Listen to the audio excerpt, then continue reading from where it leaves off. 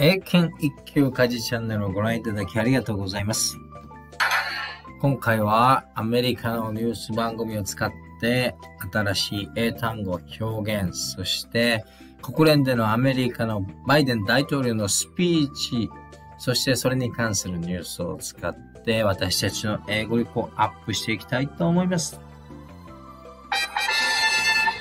まず、この動画を最初から最後までしっかり集中して聞いて、出てくる単語表現はわかるのか、ニュースの意味が理解できるのか、集中して聞いて、その後このニュースの原稿を使って、詳細を確認しながら私たちの英語力を一緒にアップしていきましょう。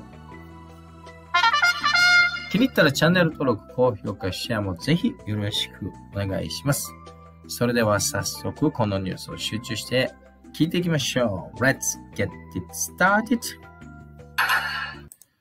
では、ニュースを流しますので、集中して聞いていきましょう。President Biden slammed Russian President Vladimir Putin in a dramatic address to the United Nations General Assembly today, accusing Putin of making, quote, overt nuclear threats, violating the core tenets of the UN Charter, and seeking to wipe Ukraine off the map. This war is about extinguishing Ukraine's right to exist as a state, plain and simple, and Ukraine's right to exist as a people. Whoever you are, wherever you live, whatever you believe, that should not, that should make your blood run cold. The president's speech comes just hours after Vladimir Putin, in a rare address to the Russian people, announced he was ordering a mobilization of military reservists to help fight in Ukraine.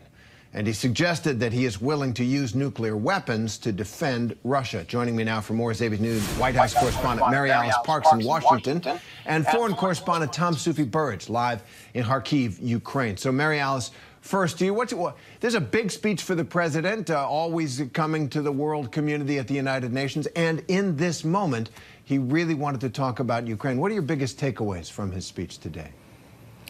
Yeah, well, Terry, first on nuclear weapons, like you said, the president just blasted President Putin and Russia for what he said were overt nuclear threats against Europe and reckless disregard of responsibilities of a non-proliferation regime. And then he went on later in the speech to talk about the United States nuclear program, obviously the nuclear superpower in the world, so everyone listens when they talk about nuclear weapons.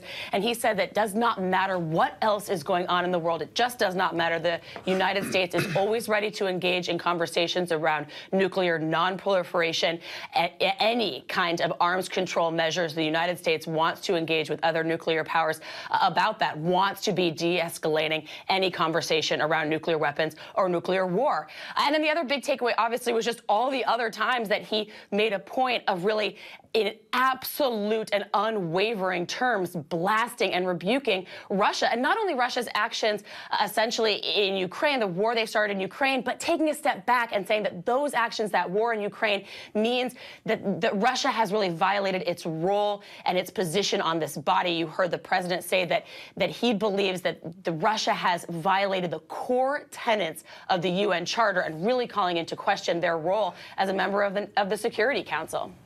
It, it was a, definitely dramatic accusations. Tom, I want to listen for a moment to Vladimir Putin's speech. Some, some of that, those remarks, his latest nuclear threats, came in this rare address to the Russian people today. Here's some of what he had to say.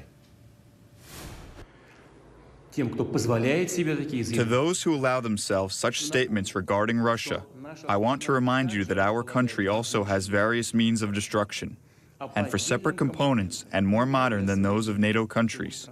And when the territorial integrity of our country is threatened, to protect Russia and our people, we will certainly use all the means at our disposal. This is not a bluff. Tom, uh, this is not a bluff that, that, that, can be taken two ways, obviously. Either he's not bluffing, or like a lot of bluffers, what he says is, I'm not bluffing but uh, that is a dangerous game to play with nuclear weapons. I want to ask what his speech, the mobilization, uh, and the claim uh, that if Russian territory is attacked, they will, Russia will respond. What does this mean for Ukrainians, for those Ukrainians under Russian occupation right now, not far from where you are? Well, Terry, I think, look, you've got to bear in mind that Vladimir Putin is talking from a position of weakness. He's increasingly isolated around the world. Uh, the leaders of India, Turkey, China have expressed disquiet about the war in Ukraine.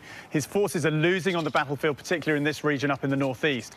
And so Vladimir Putin today really was kind of trying to respond. And, you know, one of his sort of kind of, game plans right now is to say that all of that occupied territory in the south and the east of Ukraine, well, we're going to hold these referendums. Uh, you know, the eyes of the West, they're a complete sham. They won't be free and fair, those votes. But we're basically going to say to you that after those votes, after that process, that land, we will consider that to be part of Russia. And what, the, what he's trying to do really is try and redraw the red lines, if you like, in this conflict and say to the West, if you support Ukraine attacking those territories, you're effectively supporting an attack on Russia itself. Now, I don't think, you know, policymakers in Washington, Brussels and London are suddenly going to change course overnight because of this. They know that, generally speaking, Ukraine is winning this war right now but it will give them food for thought. They will have to bear this in mind. They know that Vladimir Putin, as he gets more and more isolated, more and more weak, he becomes more and more dangerous potentially too. And uh, as part of his response to this moment, Tom, uh, the president, President Putin ordered a mobilization of the country's uh, reservists, about 300,000 of them. But really, there, there's no there's no end to what uh, the Russian government can do now. This is essentially making the Russian people join the fight. Ordinary families with their sons uh, and daughters going into the military. How significant is that on the battlefield and for Russia? It's absolutely huge, Terry. And uh, let, let, me just talk you through a bit of the optics. Late last night, we thought Putin was going to give this address to the nation. And really, all the signs were that he was going to go for a much fuller draft. Then the speech was postponed, and he spoke this morning and came up with this partial draft saying that basically people, only people with military experience will be drafted in. Apparently about 300,000 more troops bringing into the war here in Ukraine.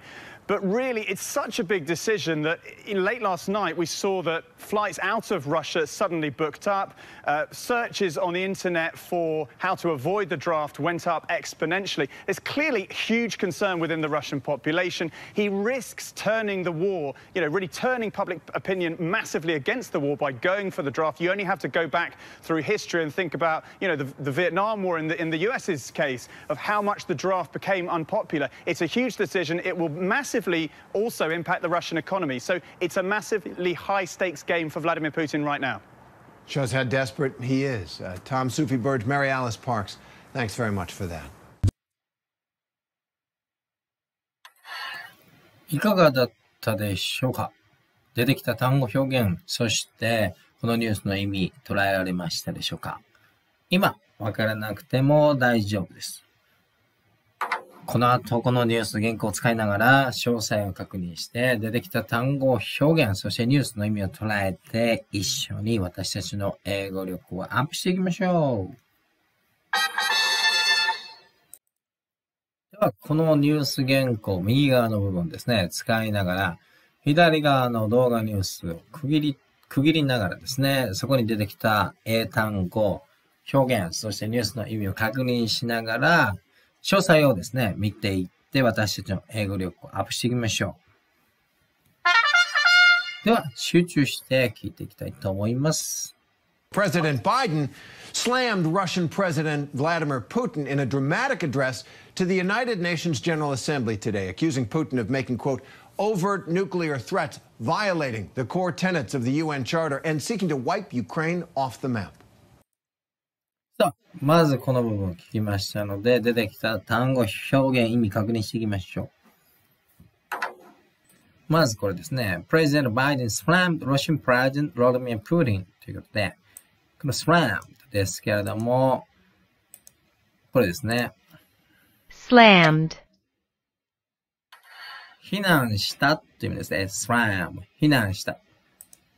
えー、アメリカの大統領のバイデンさんが slammed Russian President Vladimir Putin in a drastic address, dramatic address to the United Nations General Assembly today ということで、えー、今日開かれた国連の総会で、アメリカのバイデン大統領がロシアのプレゼンロシアの大統領のロドミナ・プーチンをですね、drastic, dramatic address, dramatic というのは劇的なっていうですね。アドレスの演説ですから、劇的な演説でロシアのプーチン大統領をスラム、非難したということですね。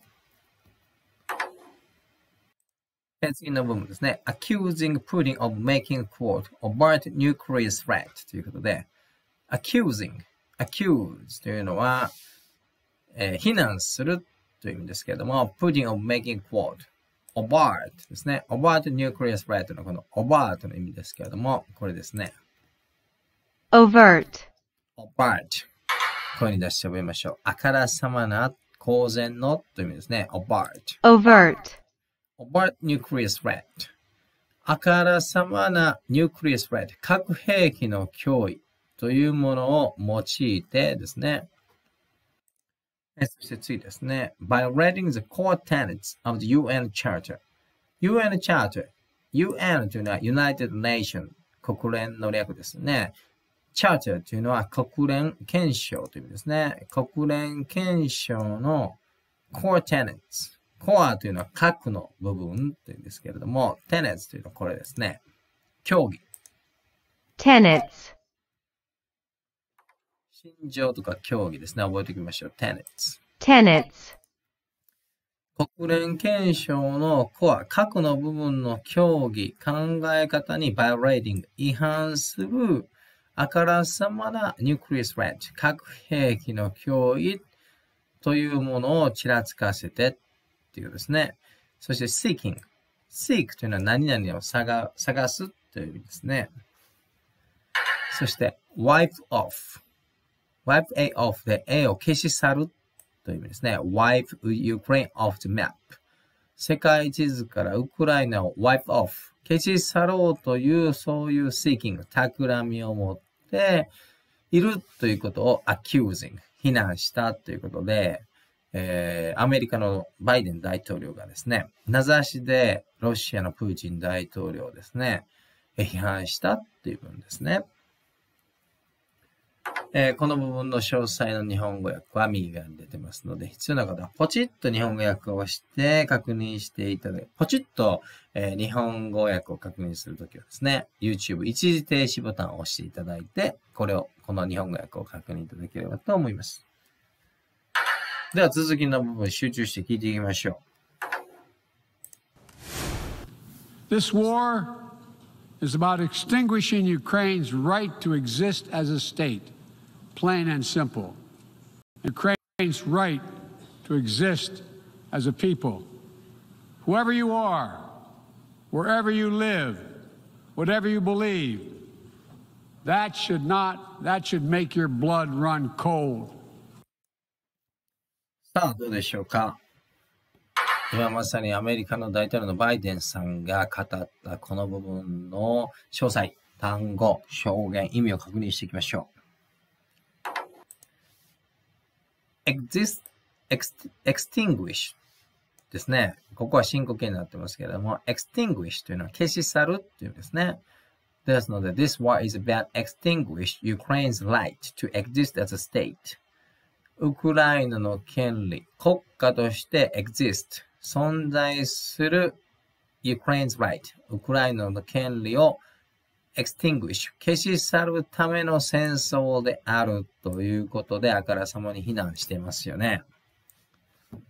えそして plain and simple というのは plain というのは明白なという意味ですね。もう明らかな。明らかで、そして単純である。ロシアはウクライナを世界地図から消し去って国家を消し去ろうとしているんだとこうバイデンさんは非難しているわけですね。そしてこの部分。and Ukraine's rights to exist as a people、えー、そしてですね、人々、人間としてですね、そこに存在するウクライナの権利、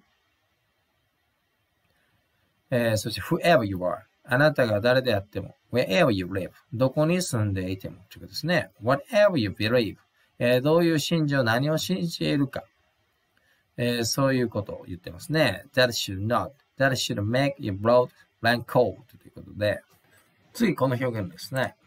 make your blood run cold, make your blood run cold 直訳であなたの血を冷やすですけども、to feel extreme fear とっても恐ろしい思いをさせるという意味ですね。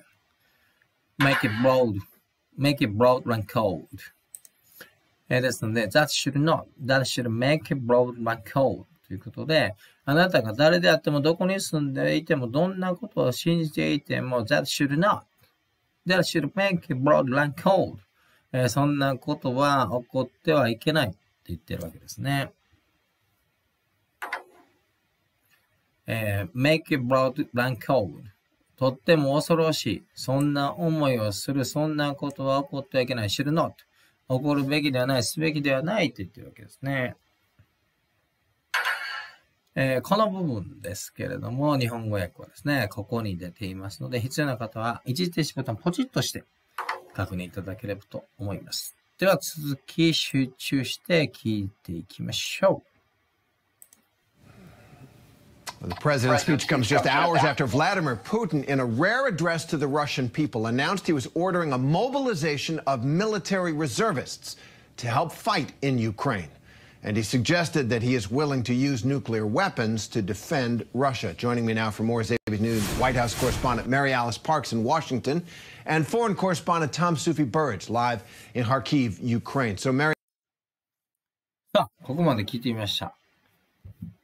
えー出てきた単語、表現、意味を確認していきたいと思います。えーこの部分。 the president's speech comes just hours after Vladimir Putin in rare address to the Russian people announced he was ordering a mobilization of military reserves to help fight in Ukraine. ということで、ここですけれども、この President, President Speech、バイデン大統領のスピーチというのは、ロシアの大統領のプーチンがですね、Mobilization of military reserves to help fight in Ukraine。ウクライナでの戦いを助けるために military reserves。軍隊の reserves、予備軍の mobilization、動員を発表した、えーそしてその発表というのはですね、rare address to the Russian people。えー非常にレア、珍しい発表であったけれども、その数時間後に、えーバイデンさんのこのスピーチがあったということですね。えーこの部分ですけども、rare 覚えておきましょう。珍しいということですね。rare。そして、mobilization というのは動員ということですね。mobilization。そして、military reservants ですけれども、軍隊の reservists、予備軍ということですね。軍隊予備軍の mobilization、動員ということですね。ここ、えー覚えておきましょう。ニュースにもなっていますけれども、えーロシアのプーチン大統領はですね、ロシアの若者、なんとですね、30万人に対して、えー軍隊に参加して、このウクライナ戦争に参加をしろと、こういう動員をかけているという今の世の中で何ということが行われているだろうという、こういうニュースですね。えそして恐ろしいことにですね、and he suggested that he is willing to use nuclear weapons to defend Russia ということで、he というのはプーチンですけども、ロシアを defend、守るために to use nuclear weapon 核兵器の使用についても he is willing to 意思がある。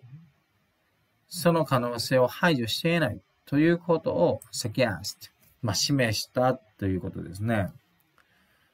えーですので、窮地に立たされているロシアがですね、自国を守るために、この戦争に勝つためになんとニュークリア weapons、核兵器の使用も辞さないということを、えー声を上げてですね、プーチン大統領が言っているというこの時代には考えられないようなことが今起こっているということですね。えー次の単語ですね。この joins me now for more savvy news のこの savvy という単語ですね。これでございます。savvy news。Savvy News. savvy news。savvy というのは精通した、まあ、そのことについてある話題とかについてよく知っているという意味ですね。savvy。Savvy News. えーですので、savvy news。よく知っている、さらにこのニュースについてよく知っている correspondent。特派員に中継をつなぐということで、えーまず、メアリー・アリスという方がワシントンに行ってる。そして、foreign correspondent。海外、海外特派員ですね。foreign correspondent のトムとという方がウクライナのハーキブにいてるということで、この二人に中継をつないで、さらに詳しくこのニュースをお伝えしますという意味ですね。さあ、この部分の日本語訳はここに出ておりますので、必要な方は一時停止ボタンをポチッと押していただいて、確認いただければと思います。では続き、しっかり集中して聞いていきましょう。Mary Alice, first to you. What's, what, there's a big speech for the president, uh, always coming to the world community at the United Nations. And in this moment, he really wanted to talk about Ukraine. What are your biggest takeaways from his speech today? さあ、この部分ですね。見ていきましょう。この部分でですね、出てきた単語でチェックしておきたいのは、この takeaways from his speech today ということで、What are your biggest takeaways from his speech today? 今日のバイデン大統領のスピーチからですね、最も大きな takeaways は何でしょうかということで、この takeaways ですけれども、日本語訳はこれですね。takeaways 論点という意味ですね。issues, takeaways, 論点。今日バイデン大統領がスピーチをしましたけれども、そこでの biggest takeaways、一番大きな論点というのは何ですか？教えてくださいっていうことですね。さあ、この部分の日本語訳はここに出てますので、必要な方は一時停止ボタンをポチッと押して確認いただければと思います。では、どんどん続きを集中して聞いていきましょう。Yeah, well, Terry, first on nuclear weapons, like you said, the president just blasted President Putin and Russia for what he said were overt nuclear threats against Europe and reckless disregard of responsibilities of a non-proliferation regime. And then he went on later in the speech to talk about the United States nuclear program, obviously the nuclear superpower in the world, so everyone listens when they talk about nuclear weapons. And he said that does not matter what else is going on in the world. It just does not matter. The United States is always ready to engage in conversations around nuclear nonproliferation, any kind of arms control measures. The United States wants to engage with other nuclear powers uh, about that, wants to be de escalating any conversation around nuclear weapons or nuclear war. さあ、この部分まで少し長かったですけども、聞いてみました。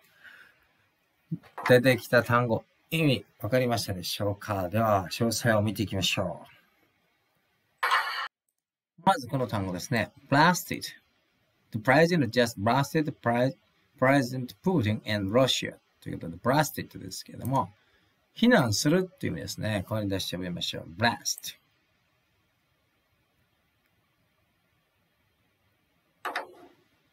blast, blasted, 非難する。これは過去形で blasted, 非難したっていう意味ですね。blast。えー、そしてこの overt 先ほども出てきましたね。あからさまなっていう意味ですね。overt nuclear threats against Europe and uh, recklessly disregard for responsibilities ということで、overt nuclear threats against Europe ヨーロッパに対するあか,、ま、あからさまなニュークリアス threats 核兵器の脅威という意味ですね。overt 覚えておきましょう。overt あからさまなという意味ですね。次の単語ですね。この reckless disregard of responsibility of non-proliferation regime ということで、reckless disregard。reckless というのは無謀な disregard 無視ですね。ですので、reckless disregard で無謀な無視という意味ですね。声に出して覚えていきましょう。reckless disregard。reckless 無謀な disregard 無視ですよね。reckless disregard reckless disregard reckless そしてこれですね。non-proliferation regime。proliferation というのは拡散ですね。non というのは何々がない。ですので、non-proliferation regime。レジームというのは体制ですから、non-proliferation regime で、不拡散体制の責任の reckless disregard。無謀な無視に対してっていうことですね。えー、ロシアがですね、核不拡散に条約に入っているけれども、今回核をちらつかせて脅しをかけているということですね。えー、それが overt nuclear threat あからさまな核兵器の脅しであって、そして reckless disregard、えー、無謀な無視、責任をですね、もう捨ててしまっているということで、バイデン大統領はロシアを非難しているわけですね。次の単語、これですね。engage in ですけど、これですね。従事する。engage in, 携わるっていう意味ですね。engage in。engage in, 覚えておきましょう。engage in。どこで使われているかというと、ここですね。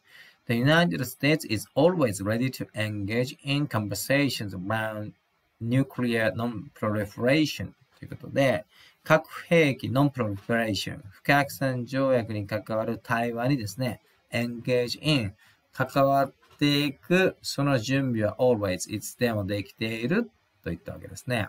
engage in 従事する、関わる、覚えていきましょう。次の単語、これですね。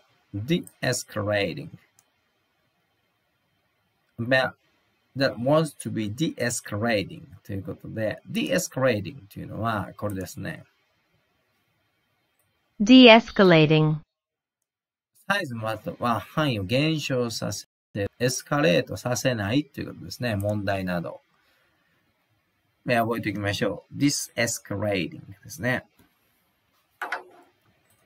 えーこの部分のですね、詳細の日本語訳はこの右側、この部分に出ていますので、必要な方は一時停止ボタンをポチッと押して確認いただければと思います。では続きの部分ですね、詳細集中して確認していきましょう。聞いていきましょう。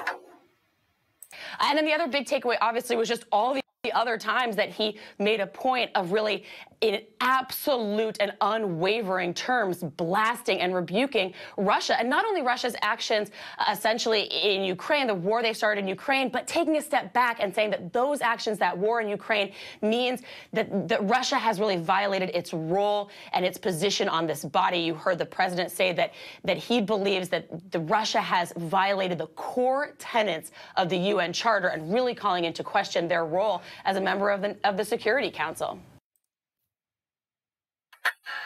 さあ、ではこの部分、詳細ですね。単語、表現、意味確認していきましょう。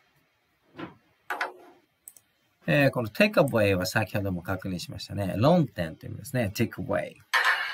And then the other big takeaway obviously was ということで、えー他のですね、大きな論点は obviously 明らかに と言っていますね。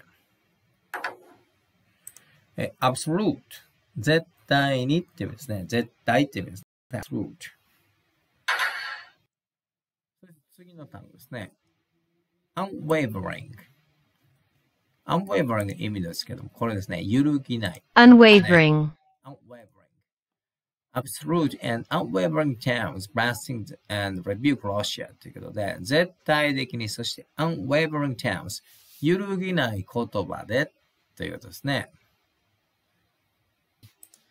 でそして、blasting は先ほども出ましたね。非難するというですね。blasting。えー次の単語、この rebuke ですね。rebuking Russia ということで、これですけども、戒めっていう意味ですね。rebuking, rebuke、戒めるという意味ですね。えーですので、バイデン大統領が国連の総会でですね、absolute and unwavering terms, blasting and rebuking Russia ということで、えーロシアを戒めて、そして blasting、非難をしたんですけども、absolute and unwavering terms ということで、絶対的に、そして揺るぎない terms、表現、条件で、えーロシアの大統領、ロシアのプレゼントですね。大統領のプーチンを非難したという意味ですね。えー次、violate。違反するという意味ですね。Russia has really violated its law and its position on this body. This body というのは国連のことですけれども、ロシアというのは本当に国連でのポジション、立場、its role、役割というものを really violated 完全に violate 違反していると言ってるわけですね。そして次の単語、core tenets of UN Charter ですね。UN Charter というのは国連憲章ですね。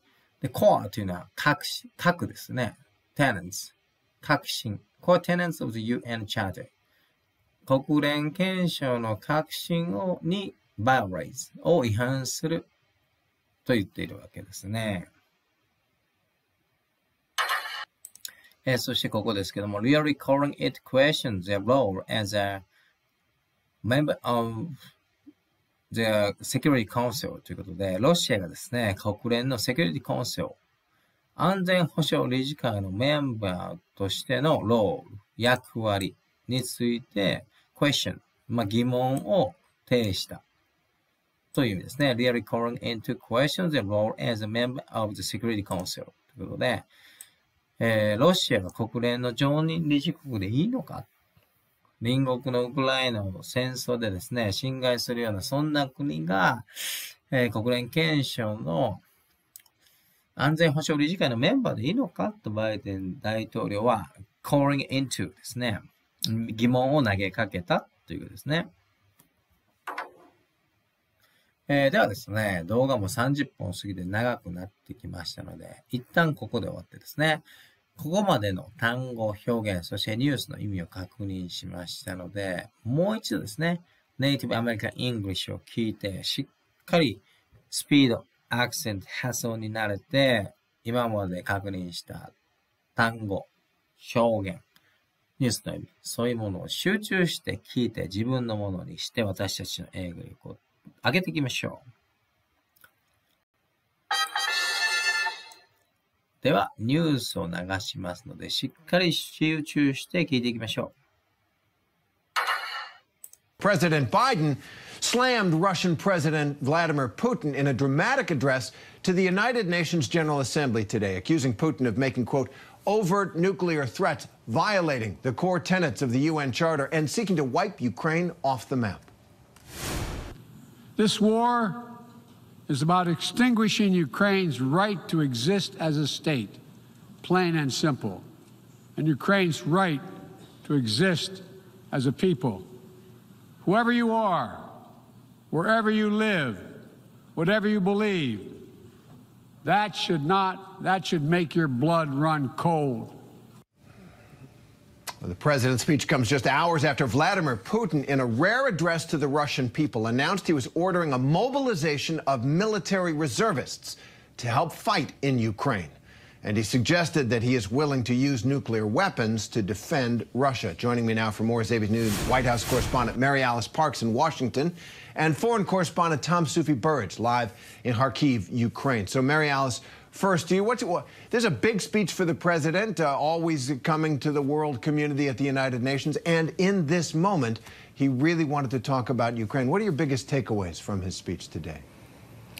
Yeah, well, Terry, first on nuclear weapons, like you said, the president just blasted President Putin and Russia for what he said were overt nuclear threats against Europe and reckless disregard of responsibilities of a non-proliferation regime. And then he went on later in the speech to talk about the United States nuclear program, obviously the nuclear superpower in the world, so everyone listens when they talk about nuclear weapons. And he said that does not matter what else is going on in the world. It just does not matter. The United States is always ready to engage in conversations around nuclear non-proliferation, any kind of arms control measures. The United States wants to engage with other nuclear powers uh, about that, wants to be de-escalating any conversation around nuclear weapons or nuclear war. And then the other big takeaway, obviously, was just all the other times that he made a point of really in absolute and unwavering terms blasting and rebuking Russia. And not only Russia's actions uh, essentially in Ukraine, the war they started in Ukraine, but taking a step back and saying that those actions, that war in Ukraine, means that, that Russia has really violated its role and its position on this body. You heard the president say that, that he believes that the Russia has violated the core tenets of the UN Charter and really calling into question their role as a member of the, of the Security Council. いかがだったでしょうかやはり一度目聞いた時よりもですね、 単語の意味、表現を確認して、ニュース内容を確認した2回目の方が英語がススッ、スッ、ススッ、スッと耳から入ってきて理解しやすかったのではないでしょうか。英語学習ですけれども、たくさんネイティブの英語を聞いて、そしていろいろな話題を聞いて、そして出てきた単語、表現、新しい語彙、単語を覚えてですね、それをしっかり自分の記憶に残してていくことで私たちの英語力がどんどん上がっていくと思います。いかがだったでしょうか？今回の時事ニュースで英語学習。アメリカの ABC ニュースを使って新しい英単語表現を覚えながら私たちの英語力をアップして、そして英語でですね、今世界でどのようなことが起こっているのかという情報も一緒に入手してみました。えー、国連総会でですね、アメリカのバイデン大統領があからさまにですね、ロシアのプーチン大統領を名指しで非難をすると。えー、こういう状況。そしてロシアのプーチン大統領はですね、国民にですね、軍隊に参加しろということで動員をかける。そしてロシアを守るためなら核を使うことも辞さないぞということでですね、戦争が一向に終わる気配はなく、むしろですね、世界がさらに悪い方向、このウクライナ、ロシア戦争がさらに悪化していくことが非常に懸念される、そんな心配を巻き起こすようなニュース内容でございました。引き続き、英語力アップにつながる動画を上げていきますので、新しい英単語、表現をどんどん覚えて一緒に英語力をアップしていきましょう。気に入ったらチャンネル登録、高評価、シェアもぜひよろしくお願いいたします。Thank you very much for watching my video till the end. I hope we could get new English vocabularies and expression from this video and information in English as well from this video. So let's improve our English together step by step. Thank you very much for watching and see you next time on my next video. Have a good day and goodbye.